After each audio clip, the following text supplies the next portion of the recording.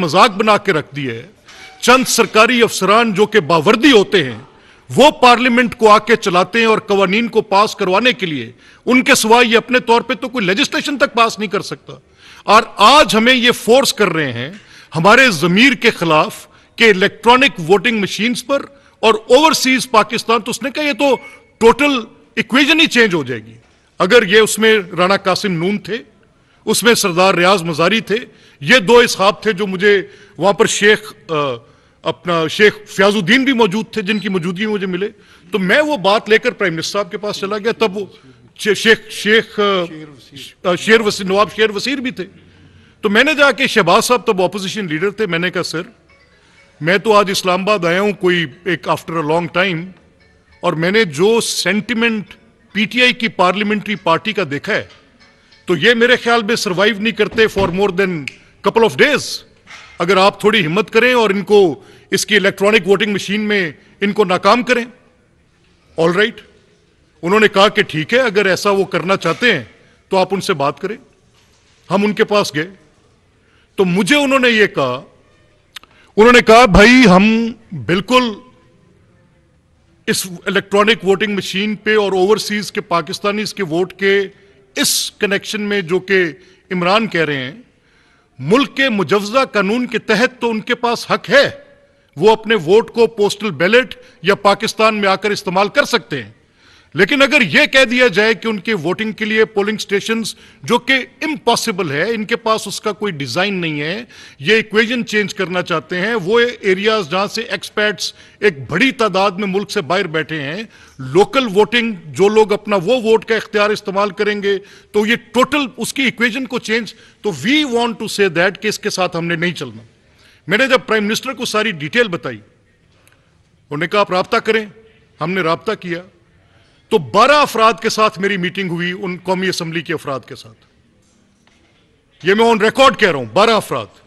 बारह के बारह ने यक ज़ुबान ये कहा कि जी ठीक है, हमें इमरान से कोई इंटरेस्ट नहीं, इसने तो मुल्क का बेड़ा गर्क कर दिया है मीशत का दिवालिया कर दिया है सतह गुर्बत से मुल्क को बिल्कुल उतार के नीचे फेंक दिया है आईएमएफ के साथ किए गए माहों के ऊपर ये चीट कर रहे हैं। हमें पता है कि इसका इकोनॉमी के ऊपर क्या इफ़ेक्ट आएगा। हम लोग अवामी नुमाइंदे हैं। हम चीज़ों को समझते हैं। बेरोजगारी इंतहा की है। इस वक्त मुल्क के अंदर एक एक एक हैजान की कैफियत है। और यह स्वाय अपनी पॉपुलैरिटी के सर्च के किसी और चीज़ में इंटरेस्ट नहीं रखता। हमें सिर्फ़ एक फ़िक्र है कि अगर हम फैसला कर लें कि आपके साथ जाएँगे तो हमें किसी अदारे की तरफ़ से स्पेसिफिकली मीनिंग बाय कि आईएसआई के उस वक्त के जो सरबरा है, वो ना हमें कहीं रोक दें। मैंने कहा तो बड़ी सिंपल बात है। I can publicly claim that I know um मैं उनके पास जाऊँगा, मैं जाके बात करूँगा। मैं उनसे कहूँगा कि, सर इनफ इज़ इनफ चार साल तक आपने इनको चाहे मॉरल सपोर्ट ही दी, आपने इनको चलवाया। ये अलायज इनके अलायंस नहीं थे। इमरान की गवर्नमेंट की फॉर्मेशन अगर एमक्यूएम साथ खड़ी थी तो एमक्यूएम किस वजूद के साथ साथ खड़ी थी? उन्होंने आपको सपोर्ट किया। और जब एमक्यूएम ने फैसला कर लिया बहसीत पॉलिटिकल पार्टी कि वो आपसे पीछे हटेंगे तो आप कहते हैं, ये साजिश है। आपके साथ बाप वाले साहब आपके साथ बलोचिस्तान पार्टी वाले आपके साथ खड़े थे। उन्होंने फैसला कर लिया कि वो आपके साथ नहीं रहेंगे। आपकी हुकूमत गिरेगी जब वो आपकी हमायत छोड़ेंगे। आपके पास तो अपनी जमात के मतलूबा नंबर ही नहीं है। आपके पास सिंगल मेजोरिटी नहीं है। आपके पास तो आप आप you are not the single largest party to form the government आप है ही नहीं। तो आपके पास जब तक Muttahida Qaumi movement Balochistan Awami party B N P Mengal ये लोग आपके साथ ना हो और वो चौदह वोट्स उनके आपके साथ ना हो तो आपकी हुकूमत कायम नहीं रहती। तो ये इक्वेजन पीडीएम ने समझी। पीडीएम ने इन जमातों के साथ रबता किया। तय पा गया कि वो लोग जो इनके साथ खुद इनकी जमात को छोड़ना चाहते एक तरफ़ तो ये अपनी कोशिशें कर रहे थे जो लोगों को लियोर करके, वो भी आपने ऑडियो लीक्स में सुना कि किस तरह की गुफ्तगु थी। और इस्टेब्लिशमेंट ने वाज तौर पे फैसला कर लिया कि हम न्यूट्रल रहेंगे। इसकी मैं आपको शहादत दे सकता हूँ। इसने उनको गद्दारी का ताना कब दिया? जब इसने कहा कि मेरी मदद करें, इन पॉलिटिकल पार्टीज़ उन्होंने कहा, हमारा क्या लेना देना इन पॉलिटिकल पार्टीज़ पे? आपकी हुकूमत बन रही थी as long as you were the government we supported to you to the best जो हमें, हमारा आईनी किरदार होना चाहिए था, हमने अदा किया। आज अगर आप ये कहें कि इसको हुकूमत को गिरने से रोकने के लिए हमारी हमायत करें, या हमारे एमएनएस को आप जाकर रोकें तो we are not doing that ठीक है? ये साहब बाहर निकल आए, पहले इन्होंने वो साइफर का खत का बहाना एक तहरीर किया, वो कासिम सूरी के हाथ में दिया, कासिम सूरी ने उसको एक रूलिंग बना के दिया उस रूलिंग की सूरत में असेंबली को डिसॉल्व कर दिया सुप्रीम कोर्ट में मुकदमा चला गया। अब यहाँ से वो कहानी शुरू होती है। सुप्रीम कोर्ट में मुकदमा गया, मैं आपका हाफजा सिर्फ़ आपको याद करा रहा हूँ, मैं कि कोई बात ऐसी नहीं जो कि फैक्ट से बाहर हो अजम्पटिव हो, या मेरा सियासी बयानिया हो। नो मैं सिर्फ़ हकाइक आपके सामने रख रहा हूँ।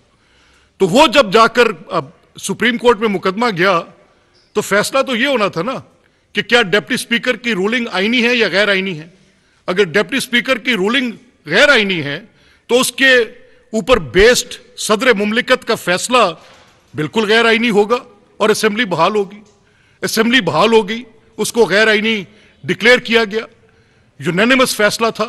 एक जज का बीच में डिसेंट था टू वन सर्टन पॉइंट लेकिन पाँचों ने असेंबली की बहाली को कहा कि यह असेंबली गलत तोड़ी गई है और यह साइफर बेबुनियाद है।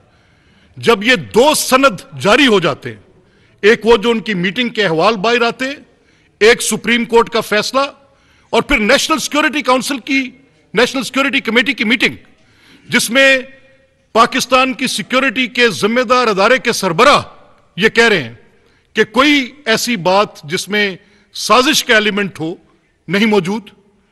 फिर डीजीआईएसपीआर आके स्टेटमेंट दे रहे कि कोई ऐसी साजिश पाकिस्तान की सालमियत के खिलाफ यानी सुप्रीम कोर्ट ऑफ़ पाकिस्तान उस कंटेंट के साथ जो कि आपने कासिम सूरी को दिया, सिक्योरिटी कमेटी उस पूरे कंटेंट के साथ जो डिटेल्स उनके साथ हैं, वो एक बात कह रही है, लेकिन ये आदमी, ये अपने आप को एक, बिल्कुल हर चीज़ से बालातर समझ के एक झूठ पर मबनी बयानियाँ लेकर इन दो वाकयात के बाद भी इसके अंदर इस हद तक अपनी इस बात के ऊपर ढिटाई पर यह कायम रहा कि यह पब्लिकली साइफर साइफर साइफर करता रहा। आज कहाँ है साइफर वेर इज़ इट आज कहाँ है एब्सोल्युटली नॉट आज कहाँ है अमर बिल मारूफ?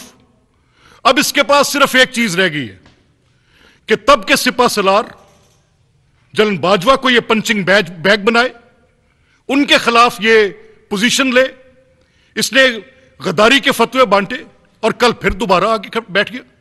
कल आके कहते हैं कि ये गद्दार है। किस बुनियाद पर गद्दार है कि उन्होंने एनआरओ दिए? Yes sir mind it general Bajwa ने एनआरओ दिए। एक ही एनआरओ। और वो एनआरओ तब दिया जब आपके बनी गाला के घर के केस में उन्होंने आपको डिस्कालीफाई होने से बचाया। और कोलेट्रल विक्टिम के तौर पे जहांगीर खान तरीन को डिस्कालीफाई होना पड़ा। अगर इमरान खान साहब कोई शक है तो हजूर किबला मेरे पास शवाहिद हैं। जब आप पैरों में बैठ के भीख मांगते थे, मेरे पास शवाहिद हैं। हम जन बाजवा को तब भी कहते थे कि is a bull in China shop, क्या कर रहे हैं? ये और पॉलिटिक्स, दो मुतजाद बातें। ये पाकिस्तान के लिए ये शख्स जहर कातिल होगा, पाकिस्तान की सियासत के लिए, पाकिस्तान की रियासत के लिए, पाकिस्तान के इस पूरे निज़ाम के लिए, पाकिस्तान के मुआशी ढांचे के लिए। क्योंकि वी नो दैट कि ये बिल्कुल हमने आ, कोई बात अपने तौर पर ये नहीं हमें एक एक, एक अवामी अंदाज में एक चीज़ का एहसास था ठीक है। आपने आ, ये फॉरेन फंडिंग्स के अरबों रुपए के फ्रॉड के साथ एक सोशल मीडिया पे आपने एक अपना कल्ट क्रिएट करके एक पाकिस्तान की पॉलिटिकल लैंडस्केप को डोमिनेट करने की कोशिश की है right but that could be seen ये आगे हम देखेंगे कैसे होता है। तो अगर एनआरओ की बुनियाद पर कोई गदारी है अगर एनआरओ किसी गद्दारी की बुनियाद बन सकता है तो उसकी बुनियादी पहले सवाल वो जवाब दें कि वो एनआरओ जो जनरल बाजवा ने एक्चुअली दिया, आपकी डिस्कालिफिकेशन तब सबको पता था।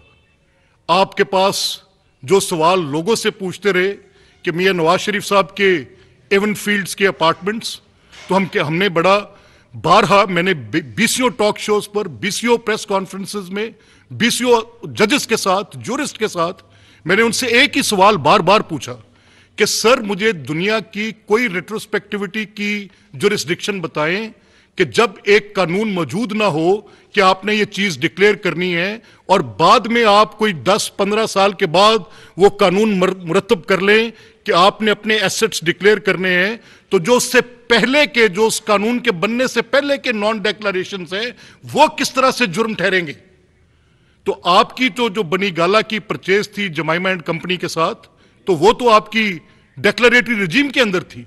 वेयर वॉज़ दैट डेक्लेरेशन क्या आपको बीवी का गिफ्ट मिला था? तो कैसे मिला था? और कैसे वो फैसला आपके हक में आया? कानून के मुताबिक तो सारी दुनिया को पता था क्या होना है। तो फिर अगर एनआरओ था तो एक ही जनरल बाजवा ने एनआरओ दिया। यह कैसे एनआरओ है जो आप अलेज कर रहे हैं? शबाज शरीफ 150 से ज़्यादा पेशियाँ भुगते यह जनरल बाजवा का एनआरओ है। उनका बेटा चार साल मुल्क बदल रहे, किस जुर्म की सजा में? कि उसने अपना कारोबार क्यों किया? क्या यह एनआरओ था? मरियम नवाज़ शरीफ बाप के सामने जेल में बंद कर दी जाए? यह एनआरओ है। मियाँ नवाज़ शरीफ अपनी अलील एहलिया को बिस्तरे मर्ग पर छोड़ के पाकिस्तान वापस आ जाए कि मैं अपने ऊपर लगे इल्ज़ाम को फेस करूँगा और 200 से ज़्यादा तारीखें जाकर अदालतों में भुगते बेबुनियाद मुकदमात की, झूठ की। अगर उनको रिलीफ मिले और झूठे मुकदमात के खात्मे का वक्त हो तो यह एनआरओ है। एनआरओ वो था सर। आपने एनआरओ, आप एनआरओ की शायद क्या तशरी चाहते हैं आप एनआरओ की? क्या आप चाहते हैं कि आपकी ये dirty laundering do you want us to take you rightly to the cleaners ये तो एक बिल्कुल तमाशा है आपका। समझ से बालातर है। अगर किसी को एक फैसला मिलता है तो आपके हवारी वुकला, जिसमें बड़े सीनियर, मुझे तो एतजाज हसन साहब पर बड़ा दुख हुआ। वो कहते हैं, ये फैसला जनरल बाजवा ने दिखाए मैं कहता हूँ कि हजूर, ये वो फैसले हैं जिनका अदालतों में चले जाना इस जुडिशियल सिस्टम के मुँह पर तमाचा था। वी नो दैट सौ सौ साल की बनी जुरिस्डिक्शन को तब्दील किया गया था। आपके लिए अगर ये चीज़ें हैं कि कोई शख्स गद्दारी कर रहा है सिर्फ़ इस बुनियाद पे, और ये उसको गद्दार डिक्लेयर कर दें सिर्फ़ इस बुनियाद पे कि आज किसी को कहना नहीं नहीं नहीं नहीं नहीं नहीं no no mister Imran Khan we have faced it पूरी जमात ने बहसीत जमात फेस किया है। क्या गुना था राणा सनाउल्ला का? कि उसने पब्लिकली आपसे डिसेंट किया था हीरोइन डाल दी उसके ऊपर? क्या गुना था साद रफीक का? कि वो पब्लिकली आपके खिलाफ इलेक्शन लड़ता था, उसको जेल में डाल दो? क्या गुना था एहसन इकबाल साहब का कि उन्होंने बच्चों के लिए एक स्पोर्ट्स स्टेडियम और एक एक एक एक डेवलपमेंट वर्क कराया, जो बाद में कोर्ट के अंदर उनके ऊपर बरियत आई? तो कौन उनके छह छह महीने दो दो सालों के इनके हिसाब देगा? What was the fault of Hamza Shahbaz Sharif वो तो किसी कंपनी के डायरेक्टर भी नहीं थे। दो साल से ज़्यादा आपने उनको जेल में रखा। पूरी जमात को तकलीफ़ में रखा। पूरी रियासती वसाइल को इस्तेमाल किया कि इसको तोड़ने के लिए, इस जमात को सरकमवेंट करने के लिए, इसके ऊपर पॉलिटिकल इंजीनियरिंग वो जावेद इकबाल चेयरमैन नैब जो थे, उनका जावेद चौधरी के साथ जो इंटरव्यू था, वो क्या किसी को भूल गया? जिसमें उन्होंने कहा कि ये मुस्लिम लीग और इन लोगों को पकड़ना जेलों में डालना इस पार्टी को तोड़ना इमरान को इकतदार में लाना और आज आप बाहर निकल के, वही जो आपको मोहसिन आपके, आप जिनको गिरदानते थे 25 से ज़्यादा ओकेजन पर आप उनको कहते थे कि ये इस तरह के आज आप उनको कह रहे हैं कि वो गदार हैं। और किस लिए गदार हैं कि वो मुस्लिम लीग को एनआरओ दे रहे फैक्ट्स के कितनी खिलाफ बात हो सकती है? मैं are we still on live जी। बिल्कुल राइटली मलिक साहब ने भी कहा कि ख्वाजा आसिफ साहब वाला शाहिद खाकान अब्बासी साहब वाला, पीपल्स पार्टी की पूरी जमात, वो फरियाल तालपुर साहबा वाला, जरदारी साहब वाला, उसमें किस जगह पर आपने कोई कोई कसर छोड़ी किसी को तोड़ने के लिए? तो मेरा ये सिर्फ़ आपके साथ आज एक एक बात मैं ऑन ऑन रिकॉर्ड रखना चाह रहा हूँ कि अगर जनरल बाजवा ने कोई एनआरओ दिया है, वो एक ही एनआरओ है और वो एनआरओ इमरान खान को मिला है और उसके अंदर करोड़ों रुपए का हिसाब है वो जायदाद है जिसको लेने के लिए कोई वसीला नहीं था। वो पैसा कैसे आया आज तक कोई हिसाब नहीं है। वो सादिक और अमीन कैसे बना, वो सदाकत और अमानत। एक एनआरओ को हिस्सा थी जो जनरल बाजवा की तरफ़ से इनको मिली, इससे ज़्यादा कोई और एनआरओ किसी को मिला नहीं है। दूसरी मैं इंपॉर्टेंट बात आपसे करना चाह रहा हूँ कि अगर आपने फैसला किया है असेंबलियाँ तोड़ने का, आप देखें ना कैसा कैसा जोफ है, इस पूरी बात में कितना जोफ है। एक शख्स इकतदार की हवस में इतना लालची है कि यह उसकी जात मुल्क की पार्लियामेंट से पहले मैंने आपको फौज के साथ उसका किरदार, अदलिया को दी जाने वाली गालियाँ, जब असेंबली बहाली केस का फैसला आया, इस आदमी ने उन जजेस की जो उस बेंच पर बैठे थे, ना उनके फैमिली मेंबर्स को छोड़ा, इसके कोई मॉरल्स जो थे वो हमने देखे, इसकी सोशल मीडिया ट्रोल टीम ने जिस किस्म का हैजान बर्पा किया उस अदारे की तकरीम को हवा में उड़ाकर फेंक दिया। I have heard it myself from from different जजेस कई जजेस से मैंने खुद सुना है कि यह क्या मुल्क के अंदर सियासत किस तरफ़ चल गई कि जजेस अगर फैसला दें तो वो इनकी तोपों के निशाने पर हैं और वो जिसको चाहे, जैसा चाहें, जितना बेदरेग उसका इस्तेमाल करना चाहें because it is a limitless checkless position के आप जो मर्ज़ी इसके ऊपर हर्जा सराई करते रहे, कोई कहने वाली बात नहीं है, ठीक है, मानते हैं। अब फिर रही सही कसर। इस आदमी की अना के आगे पार्लियामेंट भी बहुत एक ट्रिवियल चीज़ है, बड़ी छोटी चीज़ है। यानी अगर यह इकतदार में नहीं होगा तो कौमी असम्बली का हिस्सा नहीं होगा। अगर आपका कोई नजरियाती, असूली मौकफ था कि आपने पार्लियामेंट से बाहर निकलना था तो वाई यू कैप्ट केपी क्यों रखा आपने केपी अगर आपका यह नजरियाती असूली मौकफ था। आप सिस्टम की किसी ज़्यादा के खिलाफ थे। आप ये समझते थे कि वाकई यहाँ पर बैरूनी साजिशें होती हैं, वाकई यहाँ पर ऐसे साइफर्स आते हैं, वाकई आपका अमर बिल मारूफ का मंत्रा दुरुस्त था। आप वाकई समझते थे कि ये न्यूट्रल जानवर होते हैं। तो ये सारी बातें अगर दुरुस्त थी, आपको हकीकी आज़ादी की तलाश थी। एक ऐसी हकीकी आज़ादी की तलाश कि जिस हकीकत के साय तले पनप के बचपन में चलना सीखा, बड़े हुए और उसके बाद जाकर खड़े हुए और आज कहते हैं कि हकीकी आज़ादी चाहिए वहाँ से। बड़ा स्ट्रेंज कैसा एक अजीब अजीबो गरीब तजाद है। आपने पार्लियामेंट से निकले, सूबाई असेंबलियों को कायम रखा आपने। आपने, क्योंकि वहाँ पर हुकूमत केपी में आपकी मौजूद थी तो वो हेलीकॉप्टर्स और ये कल जो आपने हेलीकॉप्टर का कानून पास किया वो भी उसकी नज़ीर कहीं नहीं मिलती। पंजाब असेंबली इसलिए कि जब तक मेरे पास वहाँ पे हुकूमत मौजूद है तो ये टोटल एक एक फसाद और एक फ्रॉड की आपकी कैफियत है, इससे ज़्यादा मैं कुछ कह नहीं सकता। थैंक यू वेरी मच जी। बेटे, पीछे आ जाए any questions if you have to आप बेटा इधर आ जाना, पीछे आ जा इस तरफ़ आ जाए। इधर आ जाए बेटा।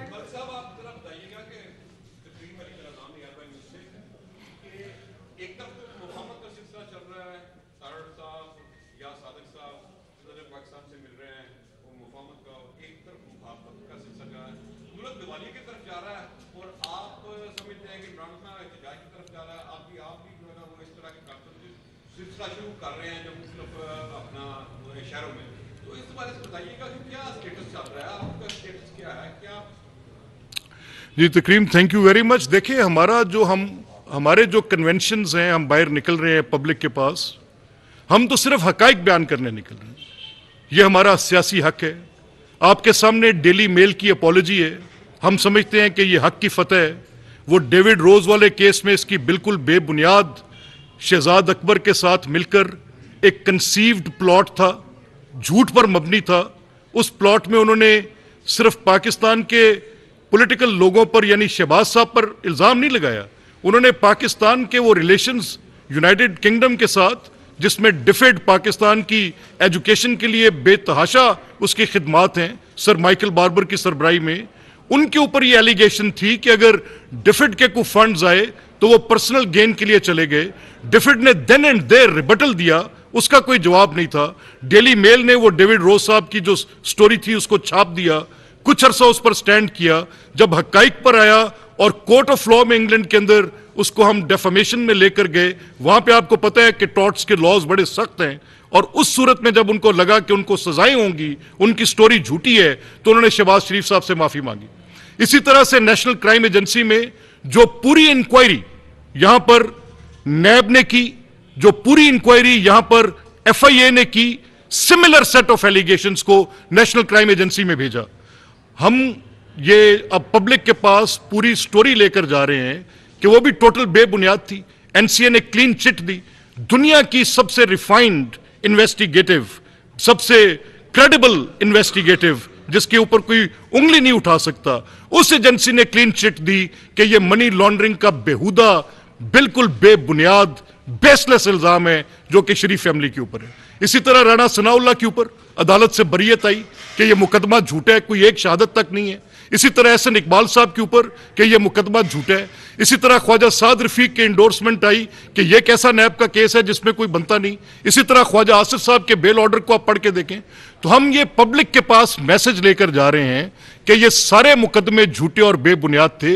ये हक की फतह है। इसमें वो हमने, क्योंकि सिस्टम के अंदर हम पर मुकदमात थे ट्रायल्स फेस किए, अदालतों में गए शहादतें दी, इनके मुकदमात को बेबुनियाद बताया, इनके मीडिया ट्रायल को फेस किया। आपको याद होगा कि इस्लामी नजरियाती काउंसिल ने मजबूर होकर कह दिया था कि ये जो आप कर रहे हैं, ये तो एन गैर इस्लामी भी है कि आप एक झू, एक एक एक इल्ज़ाम लगाते उसके बाद मीडिया ट्रायल आप शुरू कर देते सो मीनिंग बाय सर कि ये आप जो कह रहे हैं, इसमें हमारा पब्लिक के पास जाने का तो ये मोटिव है। इनका मोटिव एक एक एक एक फॉल्स फसाड क्रिएट करना था। जहाँ तक बात रही कि बातचीत की तो सदर ममलिकत के साथ इसहाक डार भी मिले हैं। अपना कल मैंने देखा है कि आज़म नज़ीर तारड़ हमारे लॉ मिनिस्टर हैं और गालिबन अयाज सादिक साहब, ये लोग भी मिले हैं। मेरे पास इस चीज़ की डिटेल्स नहीं है कि वहाँ पर क्या कॉन्वर्सेशन हैं, लेकिन ऑब्वियसली सदर ममलिकत की हैसियत बड़ी सानवी है। जो कहेगा इमरान खान, उसके पीछे फिर सारों को पता ही है आपको कि क्या उसकी कंडीशन है। उसकी पार्टी में कौन सी डेमोक्रेसी है?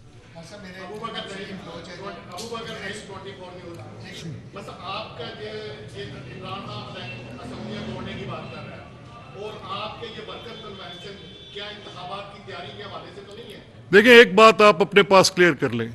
इंतबात अपने वक्त पर होंगे। और ये मैं क्यों कह रहा हूँ?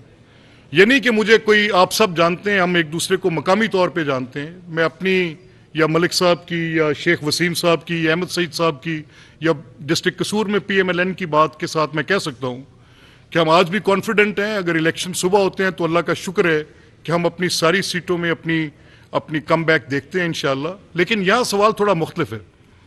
आज इस मुल्क की मीशत को, इस मुल्क की सियासत को इस्तेकाम की ज़रूरत है। एक बड़े पोलराइज्ड इन्वायरमेंट में जिसमें आज हम खड़े हैं, इसमें क्या गारंटी है? विच लॉजिक एनीबडी हैज़ के एक नए फ्रेश मैंडेट की तरफ़ जाते हैं और ये तीन से चार महीने में हम स्टेबिलिटी प्रोवाइड नहीं करते? उसको मार्च, अप्रैल, मई और सेकंड जो उनकी मीटिंग है आईएमएफ की जायजा कमेटी की मीटिंग जो है, वो भी सर पे खड़ी है रीपेमेंट सर पे खड़ी हैं। अगर हम केयर टेकर्स को ला के बिठा देते हैं तो कैसे मुश्किल फैसले हैं जो जो वो ले सकेंगे? मैंने अपना पॉलिटिकल कैपिटल लूज किया है, इसमें कोई शक नहीं है। मैंने महँगा बिजली को किया, मेरा पॉलिटिकल कैपिटल लूज होगा। मैंने महँगा पेट्रोल को किया, मेरा पॉलिटिकल कैपिटल लूज होगा।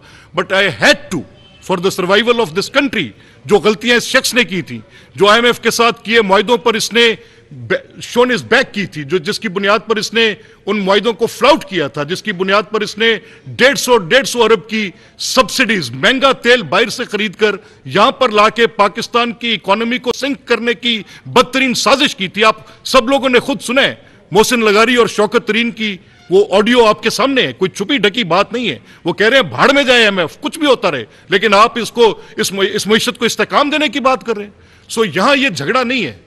या प्रॉब्लम यह है कि इंतबात वक्त पर होने चाहिए मुकर्रा वक्त पर होने चाहिए, किसी एक शख्स की ख्वाहिश के ताबे नहीं होने चाहिए, वो अपने अपने पॉलिटिकल डोमिनेंस को डिमॉन्स्ट्रेट करने के लिए यह साबित करना चाहे कि मैं इंतबात को फोर्स कर रहा हूँ तो यह मुल्क के इंतबात और सियासत के लिए भी मुनासिब नहीं।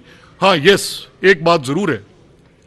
I will wait for the day ये करें इंतखाब का ऐलान, तोड़े के पी कौन रोक रहे हैं? वहाँ तो परवेज लाई नहीं है। तोड़े आज देखते हैं we are waiting for it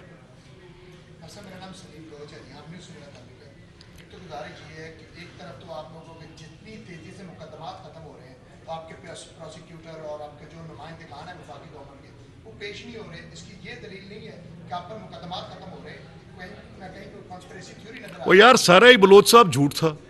आप मानते हैं आप दिल पे हाथ रख के मुझे कहें? मुझे सच कहें? आप अगर मानते हैं मुझे कहें मैं आपके जवाब देने को तैयार हूँ। अगर वो झूठ बेबुनियाद मुकदमात थे और अगर इंसाफ हो रहे हैं और ख़त्म हो रहे हैं तो मुझे एक एक मुकदमे की आप मुझसे बात कर लें। क्या नवाज़ शरीफ कोई आज सड़क पे खड़ा कोई आ, ऐसा आदमी था जिसके पास जायदाद नहीं हो सकती थी?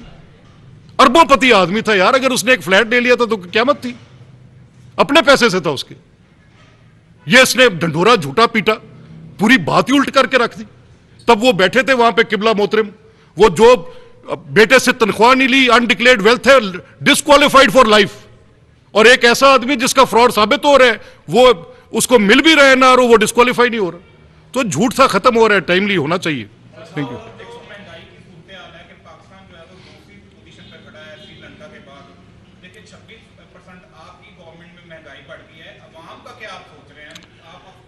ये दुरुस्त है जी, मैं I have with pinch of salt मुझे ये एडमिट करना पड़ता है। कि जो लैंड माइन्स पीटीआई की गवर्नमेंट बिछा कर गई है, जो बेहतरी उस वक्त में और दौर में, जिस वक्त मियाँ नवाज़ शरीफ की हुकूमत थी, मुल्क को दुरुस्त सिमत में चलाने की जीडीपी की ग्रोथ की डेट की मैनेजमेंट की, बिजली की जनरेशन की, कारखाने के चलने से export based export export based कारखानों के अंदर, जो लार्ज स्केल मैन्युफैक्चरिंग थी, उसकी बेहतरी की ये पूरा साइकिल अगर चलता है तो ये इन्फ्लेशन वगैरह कम होती हैं। चार साल किया ही कुछ नहीं, उसका इम्पैक्ट है ये, उसका नतीजा है ये। उस चार साल की मिस गवर्नेंस और मीशत की तबाह हाली का ये आज नतीजा है कि अपनी बेहतरीन कोशिश करने के बावजूद हम इस वक्त मुश्किल में हैं, लेकिन इन अज़ीज़ मैं आपको ये उम्मीद दिलाता हूँ कि मुस्लिम लीग की हुकूमत ने पहले भी बारहा बेशुमार दफ़ा टर्न अराउंड की है।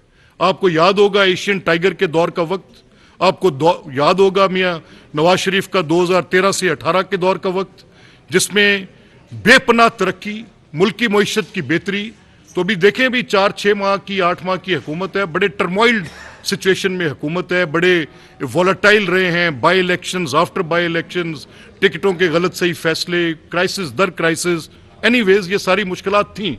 बहरहाल इन पाकिस्तान के अवाम को इस बात का यकीन है कि इन अगर कोई सूरत हाल बेहतर कर सकती है तो मुस्लिम लीग और उनके अलाइज इन बेहतर करेंगे।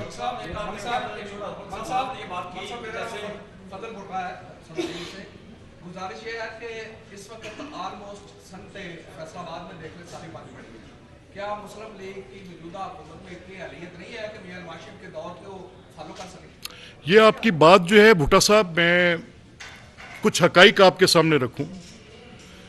मेरे लिए बाईस फ़ख्र होगा कि मियाँ नवाज़ शरीफ की हकूमत के दौरान किए गए इकदाम की मुकम्मल तौर पर अमलदारी आज भी हम कायम करें। इस हकूमत की सलाहियत बिलाशुबा आप इस बात को जानते हैं कि अगर आज मैंने कोई कॉन्ट्रैक्ट्स करने हैं फॉर प्रोविज़न ऑफ़ गैस तो मुझे आज से छः माह पहले करने हैं। अगर मुझे इस विंटर के लिए गैस चाहिए तो मैंने एलएनजी के मुआदे चाहे कतर से करने हैं या कहीं और करने हैं तो मुझे कुछ छः माह पहले करने हैं आज प्रोवाइड करने के लिए, या खास वक्त से पहले करने हैं। इस प्रीवियस गवर्नमेंट के जराइम में यह भी शामिल है। आज अगर मुझे मुश्किल है तो मेरी मैनेजमेंट है कि मैं किसी तरीके से, अब मेरे पास दो ऑप्शन है। आज अगर एक तो मैं लोड को शेड कर दूँ डोमेस्टिक के लिए तो एक कोराम बरपा होगा। अगर आज मैं फैक्ट्री को नहीं दे रहा तो मेरी एक्सपोर्ट मुतासर हो रही है। अब इसको मैनेज करना एक डिफ़िकल्ट टास्क है शॉर्टेज है। फिर यूक्रेन, रशिया वॉर की बुनियाद पर शॉर्टेज है, प्रॉब्लम है। वहाँ पर दूसरे ममालिक खड़े हैं, बिल्कुल नेट कैश लेकर हाथ में जिस मर्ज़ी रेट पर उठाना उठाते हैं। हमने तो निगोशिएट करके डेफर्ड पेमेंट्स पर बड़े मुश्किल हालात में से लेकर तो देर इज़ अ डिफिकल्टी ये मुझे भी पता है अवामुन्नास को भी पता है और कारखानादार को भी पता है। सो इस मुश्किल हालत में हमने इस मुल्क को स्टीयर करना है और अपनी पूरी सही करेंगे इंशाल्लाह इसके लिए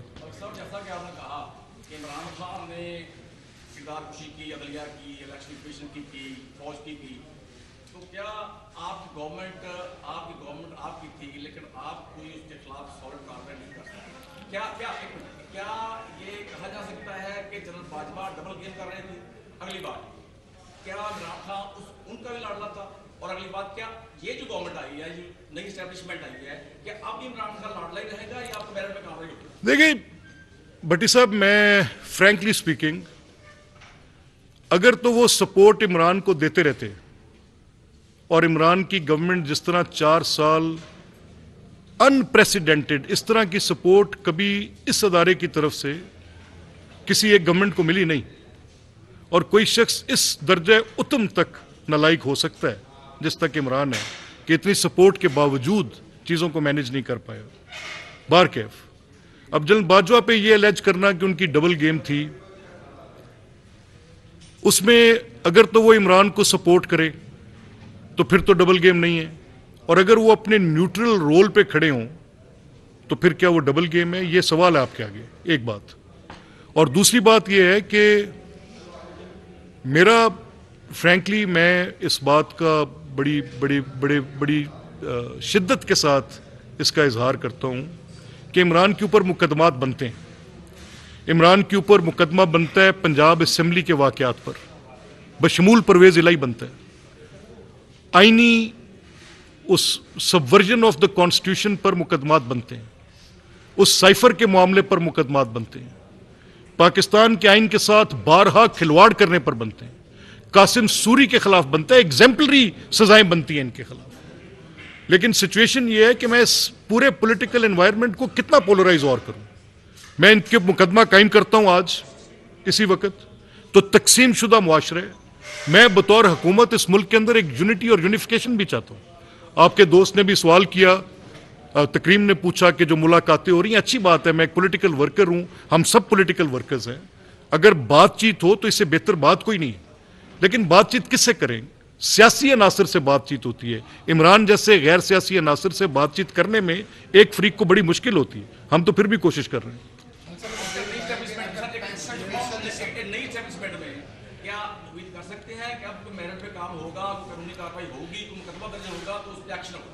नहीं, देखिए, इसमें इस्टेब्लिशमेंट का कोई लेना देना नहीं है। ये सियासी काम है, अदालतों का काम है पार्लियामेंट का काम है। मेरा ख्याल है कि इस्टेब्लिशमेंट अपने आईनी किरदार में रहते हुए सियासत से दूर रहे तो ज़्यादा मुनासिब नहीं देखिए मेरा मेरा बड़ा सिंपल रिजॉल्व है इस पर अगर पैंसठ फ़ीसद असम्बलियाँ सिर्फ़ इस बुनियाद पर मैंने तो सवाल आपके सामने रखा है कि अगर वो असम्बलियाँ आपकी हुकूमत कायम रखें तो उन असम्बलियों का वजूद रहे। अगर वो आपकी हुकूमत कायम ना रखें तो उन असम्बलियों का वजूद खत्म हो जाए। ये कहाँ की कहाँ का इंसाफ है